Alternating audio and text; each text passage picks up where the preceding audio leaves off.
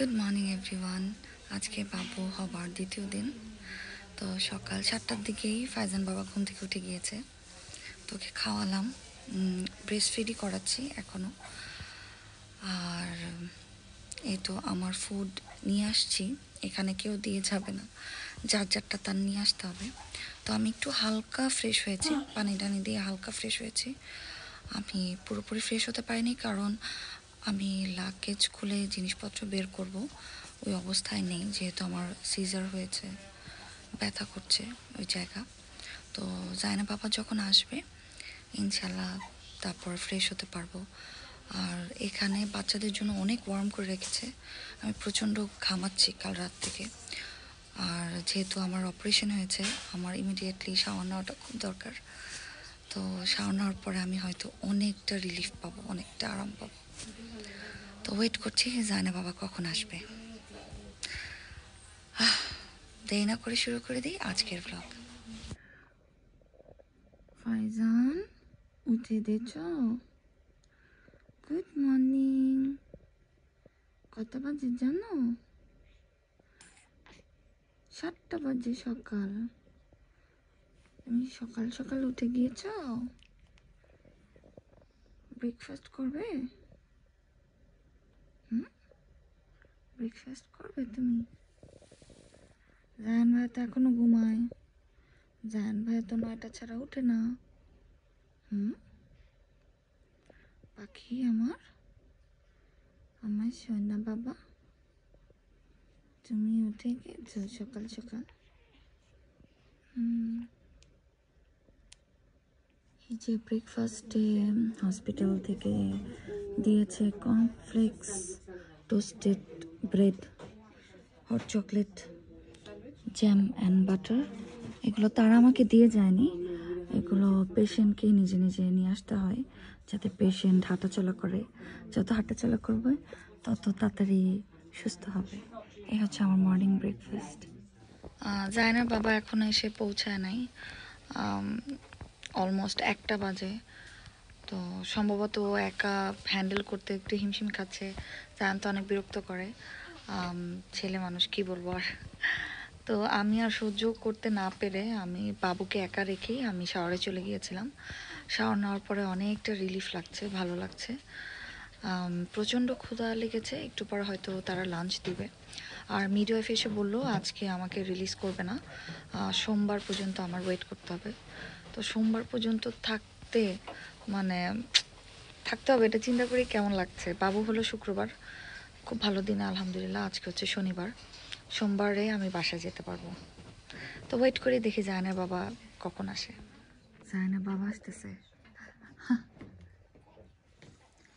আর পরে আসতা? বলল না, তোমার দুই ছেলেদের পরে ওদের মানে ওরা তো ঘুমতে করছে এক একজন তো নবমী হালে নাস্তা করবে, নাস্তা করে এই রেডি হয় ওরে রেডি করা এরে রেডি করতে ওরে রেডি করা। একটা বাজে তুমি এখন আসছো। আমি একা একা আমি একা একা গোসল করে ফেলছি জানো? বাবুকে একা রেখে। কি করব? বাবাটা ঘুমাচ্ছে। ঘুমাচ্ছে বাবা।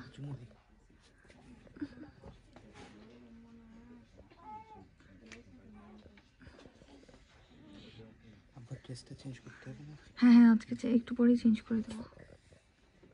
যে জায়নার বাবা আমার জন্য পরোটা ভাজি নিয়ে আসছে। আর হচ্ছে হাসপাতাল থেকে খাবার দিচ্ছে যে রাইস দিচ্ছে আমাকে। এগুলো সব হালাল, অফকোর্স। আর রাইস ডাল, ডালের চেহারা ভালো লাগছে না। আর বিফ দিছে। বাট বিফের ব্যাপারটা আমি শিওর না, যেহেতু আমার সি সেকশন হয়েছে বিফে যদি আবার অ্যালার্জিক রিয়াকশন করে তারপর অল্প খেতে পারি দেখি এটা খাবো এটা মজা অনেক So we're just checking to make sure that his cochlear is reacting to sound as we want it to. Now, because he's still very new though, sometimes the ears can be a little bit wet and sticky inside. So it's very common at this stage to get no clear response. Okay. Don't panic. We leave it, let the ears dry for longer and check them again. All right?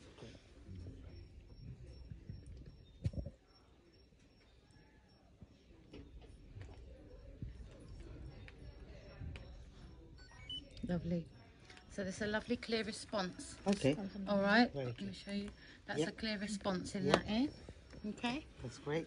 পৃথিবীর সব থেকে জঘন্য খাবার খেলাম এদের খাবার খেলে মনে হয় কি আমি একটু ওদেরকে একটু চিলি পাউডার দিতে পারতাম ওরা খাবার একটুও ঝাল অ্যাড করে না আমার কাছে কোনো টেস্টই লাগে না কেমন জানি আমার বাবার একটু আগে হেয়ারিং টেস্ট হয়েছে আলহামদুলিল্লাহ সব ঠিকঠাক আছে এখন ঘুমাচ্ছে কুটু পুটু আর আমি বুঝি না, ওর বাবা কেন যে ওর গলার নিচে বিপটা দিয়ে রাখে। এনিওয়ে এই তো খাবার দাবার খাওয়া শেষ। আলহামদুলিল্লাহ, যাই খাইছে, আলহামদুলিল্লাহ।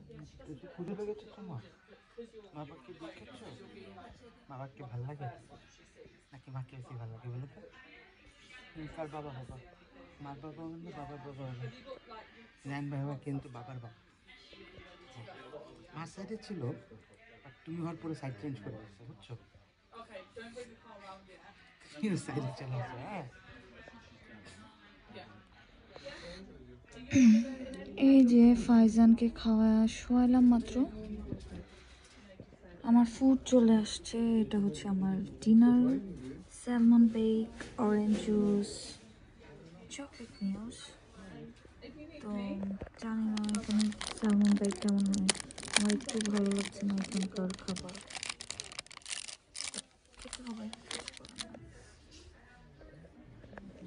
আজকের দিনটা মোটামুটি পার করলাম।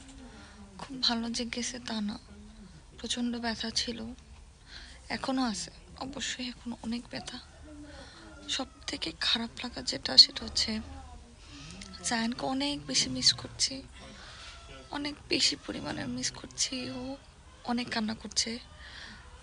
রুমে রুমে গিয়ে আমাকে খুঁজ খুঁজতেছে এবং মা মা বলতেছে, ওকে ছাড়া আমার প্রথম থাকা, আমি জানি না,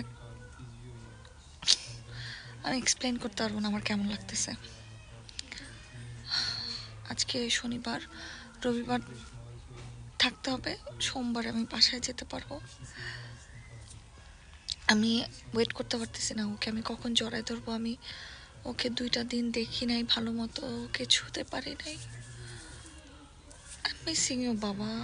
I really missing you lot and ছোট বাবু আসবে আমাদের সাথে। ইনশাল্লাহ এই তো এখন রাত হয়ে গিয়েছে, আমরা সবাই আমরা সবাই বলতে অন্য অন্য পেশেন্ট সহ আমরা ঘুমিয়ে যাব, যদি আমার ঘুম আসছে না। এই তো তো আজকের মতো ব্লগটা এই পর্যন্তই। আল্লাহ হাফিজ।